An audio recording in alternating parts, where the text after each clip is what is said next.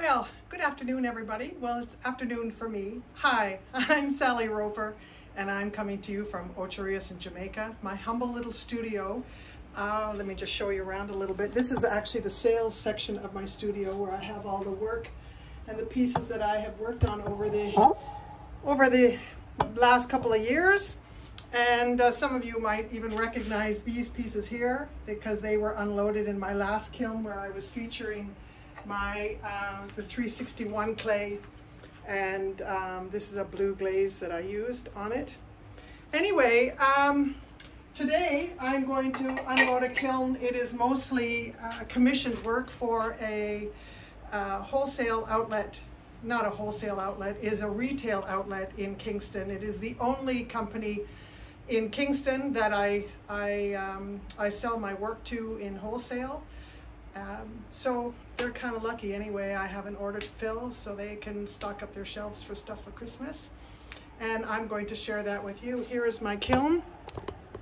Down here I have a Skutt 1027 and uh, it is it is perfect. It, it is just a perfect size kiln for me because the amount of uh, work that I have, I can accumulate things, I can do large pieces. So it really works well. So I'm just gonna go ahead and, and uh, open up the kiln. I've had a little tiny sneaky peek at, uh, at the very top shelf and um, you don't really see anything in it. I'm not going to, uh, I'm not going to uh, move my camera again. So what I'll do is I'll just bring the pieces to you. So I'm gonna keep this short. I'm gonna move through the pieces quickly and um, let's get going. So what I made were some olive dishes and some garlic dishes. These are dishes that you would put oil into on the bottom. This one is one that you would use to macerate a, um, a clove of garlic. So you would just cut it across lengthwise, uh, sorry, a, a, across, if this is your if this is your piece of garlic, you cut it crosswise, and then what you do is you just rub it onto, onto that grid that's there. It's kind of, I can't say sharp, but it's got enough of a ridge where it's going to break down the garlic and then you put in a little bit of oil. This is um, just an olive oil dish or it can be a soap dish, it can be any kind of dish, but they are uh, probably about four and a half, maybe five inches wide. Now this one is done in Opulence Sea Spray and I, uh, using the Amaco Velvet Underglazes, I just did a little bit of hand painting on the olives there. And um, this one I just used the end of a paintbrush and I just kind of did a little dig out to create the roughness on that. So that's how I did those ones. This is another garlic dish in sea spray. I'm trying to get the glare off of it, so it's how I hold it there. That's probably better. And this is um, Opulence. Um, when I started out doing my pottery, I used Opulence glazes. Opulence is a company that's from Tennessee. And uh, being in Jamaica, I have to import. So it doesn't really matter where I get my glazes from anywhere. And um, I have been using Opulence now for over 10 years. I'm moving slightly over to some of the other, or incorporating some of the other glaze companies like Mayco, Amaco, and Spectrum, and adding those now into my repertoire. So you'll see a bit of those coming up. Anyway, this is more of the sea spray. This is really my go-to. This is a flower, same thing. It's just a little, a small little dish. So these were the three designs I did. And there's another one. And again, I used the, the velvet underglaze and I just painted on the flowers. This is another sea spray garlic dish. These work really well if you like crushed garlic um, in in your um, in your food. It just works really really nicely. It really does a great job of macerating. And I use a I use a glaze that that will break well over the ridges because if it's too soft or there's too heavy of a coating, the, the garlic won't break down. So it, it, this is very functional. It can also work really well as a soap dish. All right, now my daughter has asked me to make these. Um, as you know, oh, hmm. no, these ones I lie. I'm, I've made them. I, I have yet to uh, fire them. Anyway, these are, um, I used uh, Laguna Sybil Speck clay, which is a just kind of an off-white clay, but it's got the speckles in it. I find it very easy to work with. It's got a very small amount of grog in the, in the clay, but I do like how the speckles come through. Now this is um, marshmallow. Again, it's an opulence glaze. And uh, these ones, so I made a small one and a large one, which is what my client asked for. And I have a bunch of those. And those look really, really nice if you put a little, uh, if you put a little tea light or a string of fairy lights in there, they light up so beautifully at night. But anyway, and the cutouts and the rows are just totally random. It's just however I feel, whether I want to do two, four, five, or three um, dots. But anyway, that's them there. And um, I wish I could show you how they light up, but I have, I have eight of them, so there's just two more. And the last two, well no, this is six and seven. I think there's another one further down. So I just made them in two sizes, but you can really make them in any size you want. Uh, now I'm already down one shelf. Now this, I'll just go lightly on this. I've talked about this before. This is my uh, witness cone. Because um, I'm using B-Mix 5, the best temperature to fire my kiln at is cone 5. And the glazes that I'm using work really well at 5 and 6. I've, um, I'm going to maybe try and do a, um, a firing to cone 6 and to really test out the difference uh, I'm not good at testing. It's like practicing in sports. I hated practicing. I just love to play the game. And I kind of like that with my pottery. I really hate the testing part of it, but I like the end result. So I guess it's just something that I have to do. Anyway, this is the, um, the five witness cone and this is the six witness cone. So you can see that the six has just started to bend. The five is all the way over. Now, in order to do a perfect cone five, it should end the point should end about there, but because it's dropped down and is actually touching the surface of the, um, the little piece of, um, of broken pottery, um, that uh, I have probably about a five and a half because this six is only bent so far. If it had bent all the way over, probably even touching there, I would say I've reached cone six. So I'd say this is a perfect five and a half. So the witness cones tell me the heat work that was achieved in my uh, my kiln. I did set it to cone 5 medium on their preset, on Skutt's preset program. And I, um, I held it for, I believe, 10 minutes. So that gives it that time for the heat uh, just to completely fill the, uh, the inside of the kiln and get all the pieces to the same temperature. I have advancer shelves. Anybody, if you can afford it, get it because it has saved me countless times, uh, although it shouldn't have to, but it does. Anyway, all right.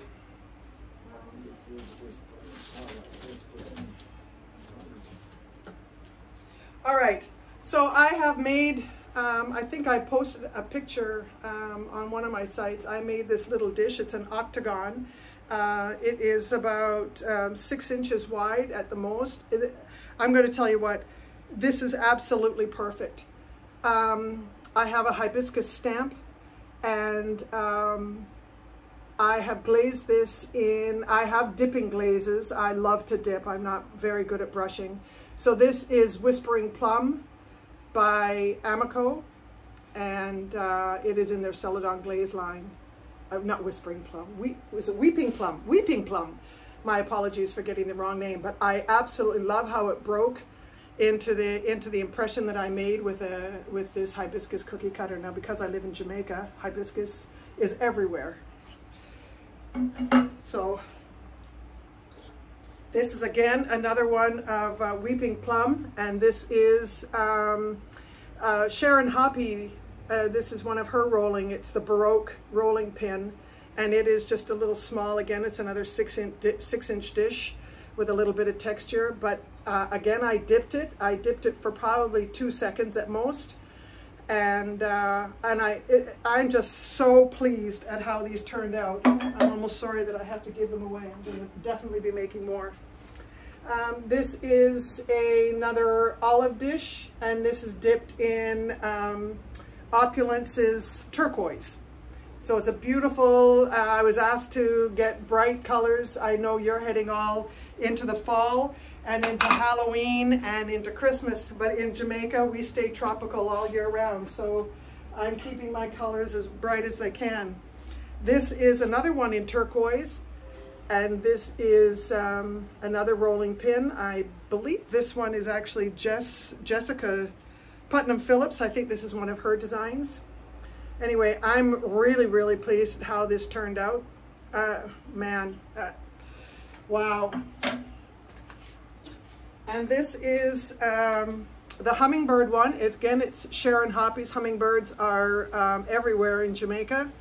So you can see the uh, you can see the hummingbird here, and then into um, into the hibiscus plant that's here, and the tropical leaves that are in it. Again, this is done in turquoise, gorgeous,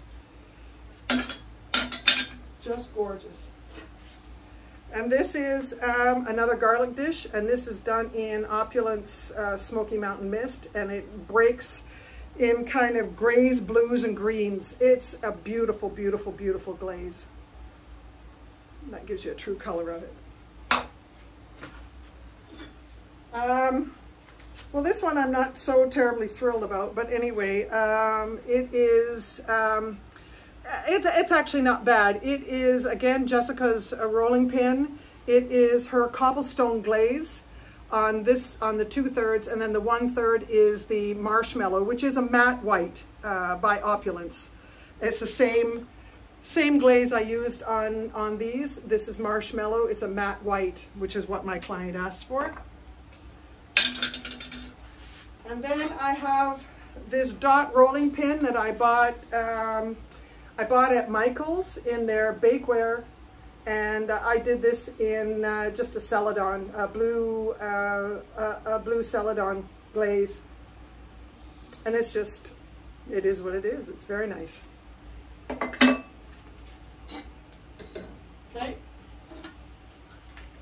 We're down a row. I have lots of trays in this, um, in this particular unloading. Okay, the next layer I have is, is some uh, taller items. So I have taller items in the bottom, which I needed to do uh, a row or two of, excuse me, of the trays, and then I have another taller one in the middle, and then the top two were, were shallow. So this is um, Opulent Sea Spray. It is a planter. This would hold uh, a six inch liner. Excuse me, I have to cough. Pardon me. Oh, anyway, um, yeah. So I have a hole on the bottom. I have the tray. I Whenever I use my planters with a hole, I always make a tray to match it. And I measure the bottom, and then I make a tray about a half an inch wider than the bottom of the bottom of the pot, so they really fit nicely together. And I sell them together. And this is just a cutout design. You, anybody who knows me knows I do a lot of cutout work and I've gotten pretty good at it over the years. And these are um, these are a wine carafe, and it says wine not. So I just happen to have a bottle of wine here in the studio, so it would just sit nicely on your table like that. And then you still get to see the label um, the type of wine that you're drinking, if that's important to you, that your guests know what type of wine you're serving them. So a little bit of a cutout there. And, uh, and then I drew some grapes and colored it in. So there you go, why not? I have a few of those.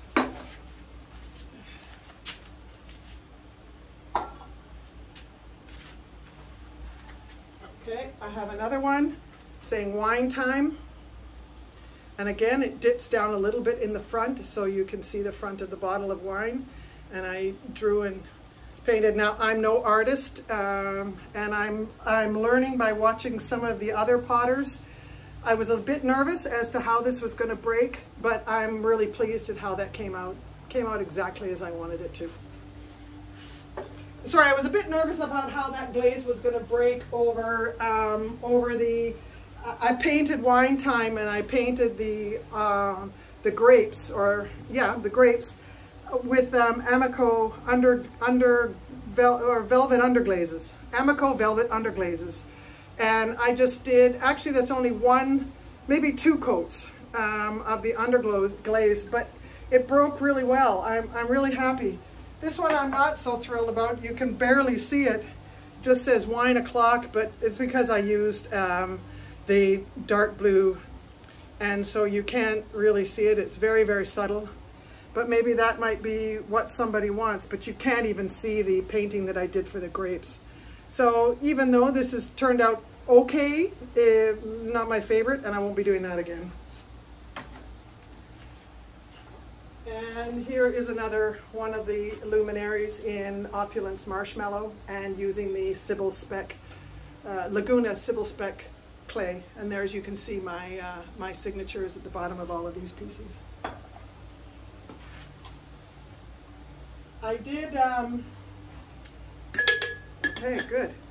I did these jars and you saw them in my last video and I really wasn't very happy um, in how they turned out, but my client wanted some more, so I made some more, and I, I did a bit of a different technique on the lid. Last time I, I fired the lid separately, and I put it on stilts, and I got a little bit of warping. So this time, because what I was trying to do was avoid putting waxing here and waxing on the inside rim, um, so that you would have all glaze. But you know what? Keeping the lid on there helps to keep the pot round, helps to keep the lid round and from things. So this uh, turned out really, really well. And what I have here as well is the opposite. So if you remember in the last video, if you saw it, of my kiln opening, um, these are the same, these are the same thing. So um, anyway, and again, the lid just sits in there because it's not glazed. The pieces, although they may stick together a little bit, no, it comes off pretty easily. So even though I fire that on because I've, I've done uh, waxing on the rim and on the inside of the, of the pot, the inside, oh, what is this now? This is um, Jessica's uh, Cobblestone Gray, and this is um, Opulence Marshmallow. She wanted it in the matte look, and so that's what I gave her.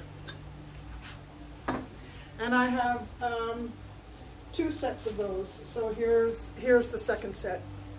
Same thing. Okay. And then I did some uh, tile tests. Um, okay, so how did I do this? They sit on a piece of the um, nichrome wire, which is easy to get.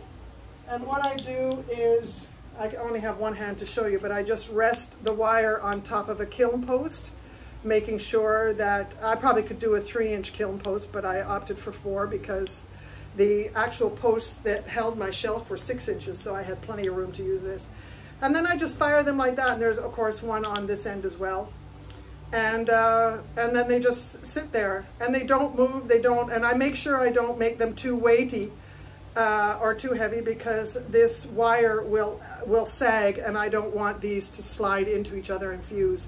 So I only put three or four and I make sure the heaviest ones are here towards the, uh, towards the post so that it kind of absorbs some of the weight and the thinner, lighter ones I put in the middle.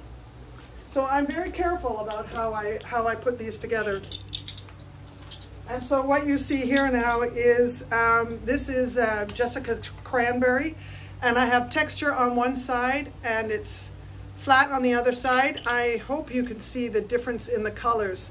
So this is dipped for three seconds for the top bit and then I pulled it up a third and you get another two seconds and then I pull and then I left it there for another two seconds. So this is probably three seconds, five, five seconds and seven, eight seconds. So you get, um, so that's like painting on three or four layers uh, if you're brushing on glaze. So it, it all matters how you dip. But I like how this breaks on the texture again, I'm trying to get the glare out. So that came out really, really nicely. I really, I really like that. And this is, um, this is um, Amicos Ska, uh, Aqua.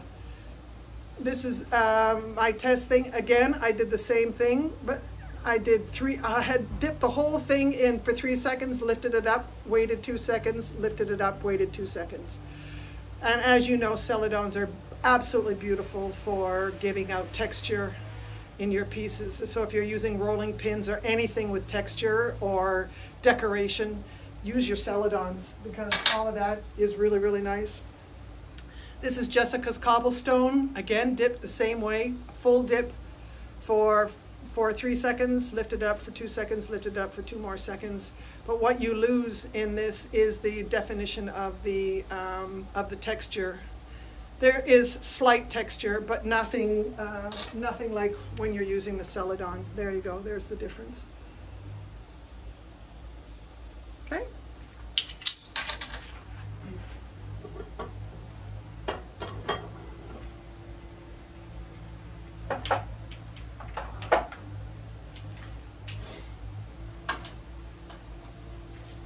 Okay now we're on to the next level.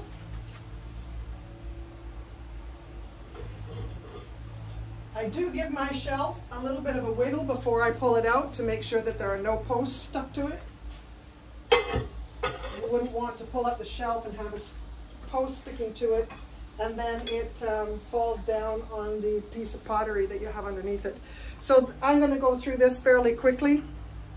This is um, hibiscus. Oh gosh, I just love how these came out. I'm going to make a whole lot more of this. And this is just the dotted rolling pin from Wilton. I think it is um, uh, in your, in Michael's in the bakeware section. But that turned out really, really nice. I, I'm, I'm just, I'm just incredibly impressed by how this stamp and how the texture came out on those. And I have a bunch of them. So again, this is uh, Opulence Sea Spray and this is Opulence Turquoise. I'll just blast through these. Opulence Sea Spray, and this one is a palm tree. It's a cookie cutter. Again, I kept it very tropical, and this is just the dot, dot pin roller. So I I really, really, really like how that came out. So if you want to know where I got the cookie cutters, uh, you can just uh, private message me or make a comment in the in the in this video. And uh, again, another palm tree. And I did this purposely in the sea spray green, just because palm trees are green. And again, it's a very nice light tropical color. My uh, my client has um, lots of tourists that come into her studio or come into her shop. So the objective was to keep the pieces small. All right. Okay, a lot of green. Again, this is the hibiscus. And a new one you haven't seen yet is a pineapple. That's really, really pretty. Again, done in opulent sea spray.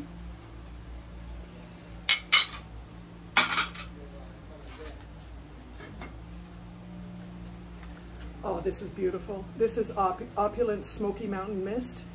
And uh, again, you can, I hope you can see it. If I get it up close enough, you can see the, the way that the glaze just colors in the, um, in the green, gray kind of in blues. And well, in person, you even see greens. This is just a beautiful glaze. Wow. Wow.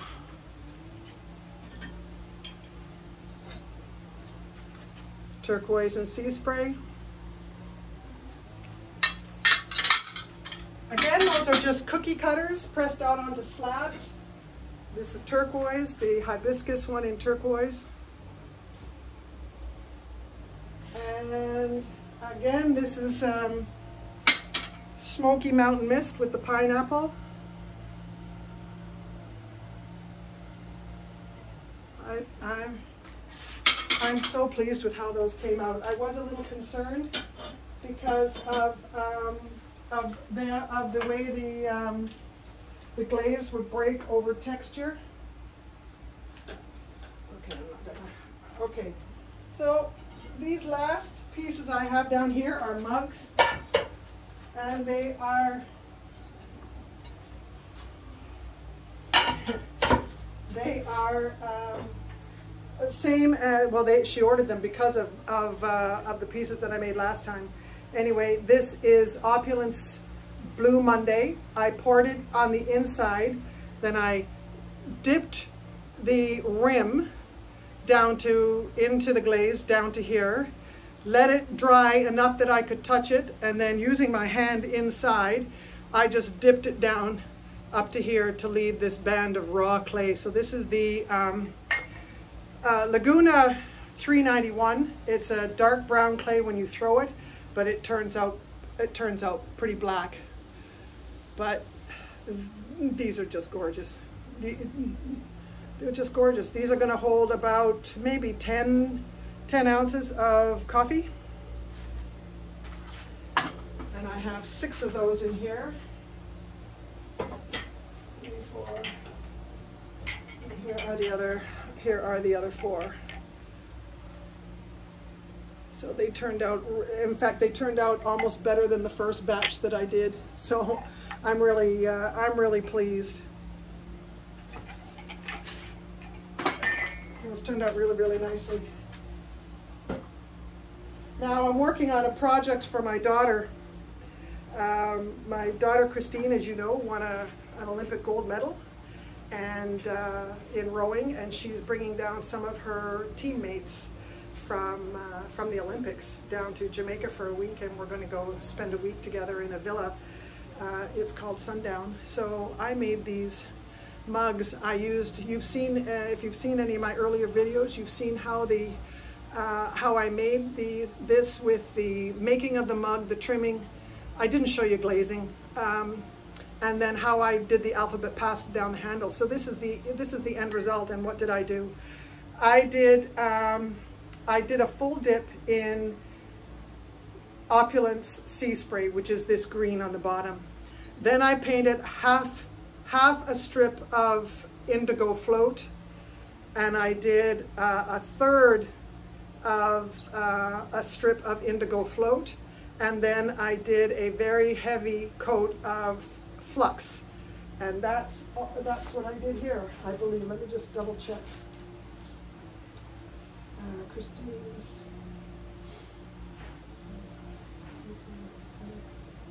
Okay. No seaweed I, li I lie. Okay let me go let me go back.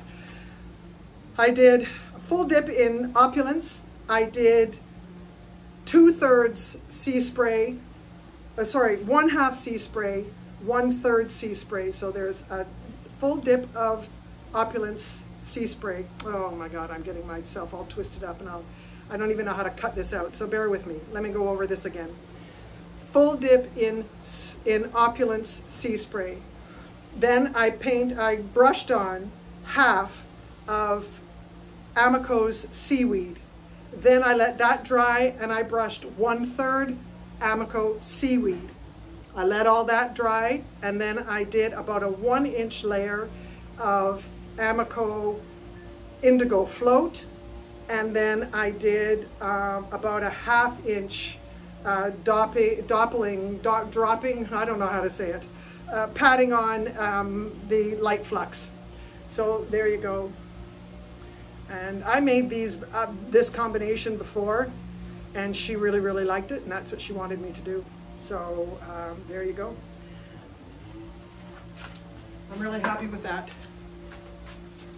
Now, this this I'm going to talk to you a little bit about because this was a mug that I did in my last firing and it is again the Smoky Mountain Mist by Opulence but I'm having trouble with crazing so what I ended up doing uh, on the inside, it was all crazed at the bottom. So what I did was I just took a brush, a fan brush, I dipped it into my into my into my glaze, and I just brushed. I I brushed the inside, and then I let it dry. And then I thought, hmm, you know what I'm gonna do? I just did a total one brush over the, over the whole outside and the whole inside. And it has repaired and fixed every flaw that I had in the pot. I am so happy with how these turned out. That was all crazed on the bottom and now look at it. It is just smooth and nice and perfect. And I'm hoping all six of them, because I had six of them. Otherwise they were headed for the trash bin. But this is a refire and it worked out absolutely perfectly. So there you go. So if anybody's wondering whether or not um, a refire works, it absolutely does. I'm learning more and more about it as time goes on. Um, and, you know, I think I just made a mistake. These were the ones I refired and I'm not happy with them. I have two sets in here and I must apologize. I did not refire these. These were just a single dip into, into Smoky Mountain Mist. I'm, I got confused with these ones here. So let me go back. This was not refired. This is just a really good firing. I didn't have the glaze in there for very long, probably one, maybe two seconds, and then I took it out. Okay, so these are the ones I refired and I'm not very happy with them. Now you can see that there's still a little bit of crazing um, or, uh, uh, on the bottom of these. Again, I I took some glaze and I just brushed it on the full outside and full inside and I'm some of them are okay and some of them are not okay. So I'm not you can refire things. They're certainly better than they were this has turned out okay. This one, you see, see that crazing on the bottom? And that's how the glaze is pulled away from the body of the cup. Uh, there was some on the outside of one of these, and I see that my re, my um, painting over it again has, has corrected that.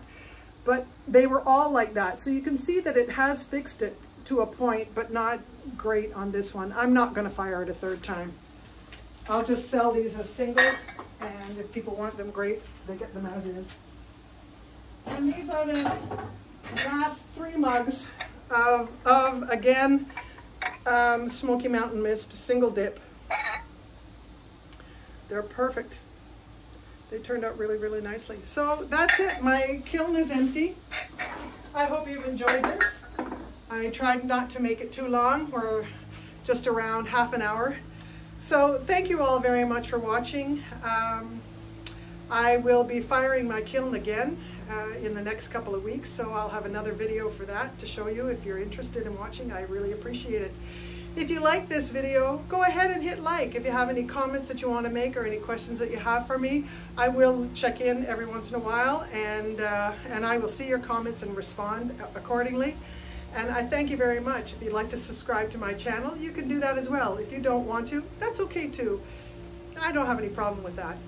So thank you all very much. Have a really wonderful day and um, just go out and make some fabulous pots. Bye.